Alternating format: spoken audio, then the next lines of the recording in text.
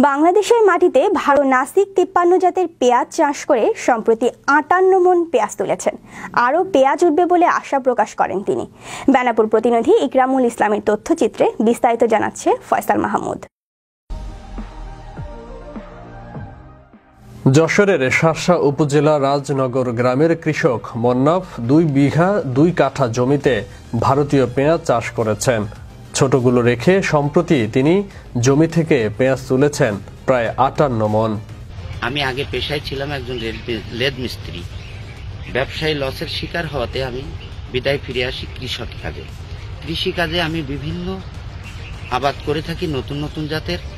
সারসা কৃষি অফিস থেকে প্রণোদনার মাধ্যমে আমার এই নাসিক এনসি জাতের পেঁয়াজ দেয়। আমি এইবার প্রথমেই শুরু করেছি এই পেঁয়াজ চাষ। আমার দুই বিঘা জমিতে পেঁয়াজ আছে। আশা রাখি আমি দুই বিঘা জমিতে পেঁয়াজে আমার উৎপাদন হবে দুইশো চল্লিশ মন। দেশে উৎপাদিত শীতকালীন পেঁয়াজ ফুরিয়ে যাওয়ার পর হু হু করে বাড়তে থাকে, অতি প্রয়োজনীয় এই খাদ্য পণ্যটির দাম। ভারত থেকে আমদানি করা পেঁয়াজ দিয়ে চাহিদা মেটাতে হয়। ফলে পেঁয়াজের দাম বাজারে বাড়তে শুরু করে। আবার আমদানি করতে গিয়ে ব্যয় হয় বিপুল পরিমাণ ডলার। তাই দেশে পেঁয়াজের উৎপাদন বাড়াতে বদ্ধপরিকর কৃষি বিভাগ। আমি নাভারণ থেকে আসছি যে মুন্নাভাই রাজনগরে ইনে খুব ভালো পেঁয়াজের চাষ হয়েছে তো এটা দেখতে আসছি জাতটাও ভালো এবং বাজার জাতও ভালো এবং দামও ভালো। এই চাষটা আমি করব বলে তা আমি আসছি। পেঁয়াজটা অনেক ভালো পেঁয়াজ অনেক মোটা খুব সুন্দর পেঁয়াজ খুব উন্নত মানের বাজারজাত ভালো। আমি মুন্নারে নার্সারিতে কাজ করি। এবারে যে পেজ লাগিয়েছে, পেজ দেখে আমরা আগ্রহ করছি যে পেজটা আমরা লাগাবো, পেজটা খুব উন্নত ধরনের।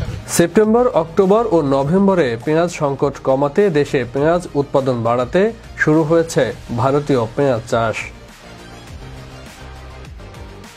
ডিসেম্বরের দ্বিতীয় সপ্তাহ থেকে নাসিক তেপ্পান্ন জাতের পেঁয়াজ উঠতে শুরু করেছে। কৃষক বিঘা প্রতি ফলন পাচ্ছেন সত্তর থেকে আশি মন।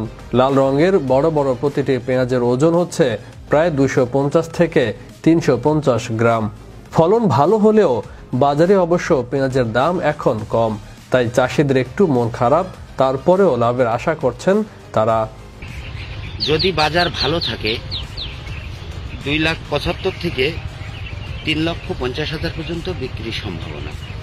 এই জন্য এই নাসিক এনসি জাতের পেঁয়াজ চাষ যদি বাংলাদেশের সব কৃষকরা করে থাকে, তাহলে আমাদের দেশে এগোবে। কৃষকরাও বাঁচবে এবং অতি লাভবান হবে।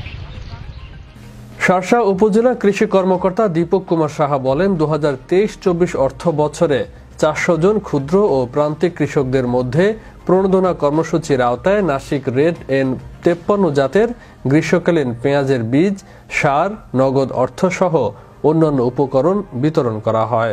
দুই হাজার তেইশ চব্বিশ অর্থ বছরে কৃষি প্রণোদনা কর্মসূচির আওতায় সারসা উপজেলায় একশো ষাট জন কৃষকের মাঝে গ্রীষ্মকালীন পেঁয়াজের বীজ, সার এবং অন্যান্য প্রয়োজনীয় উপকরণ বিতরণ করা হয় আমাদের এই সারসা উপজেলায়। আমাদের এই মুন্না পারভেজের এখানে এক বিঘা এবং পার্শ্ববর্তী আরেকজন কৃষকের এখানে এক বিঘা মোট দুই বিঘা পেঁয়াজ আছেন। আমাদের, আমরা জানি আমাদের অক্টোবর থেকে ডিসেম্বর এই তিন মাস পেঁয়াজের ঘাটতি দেখা যায়।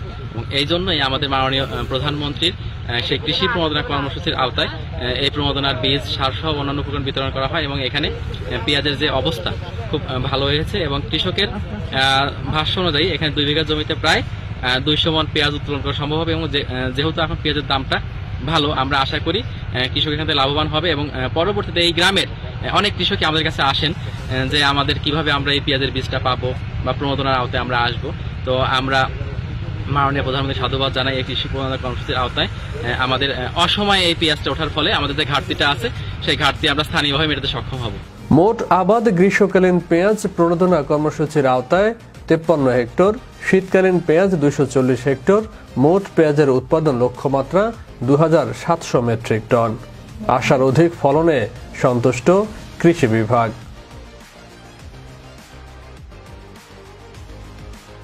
Faisal Mahmud Bishwa Bangla twenty four national desk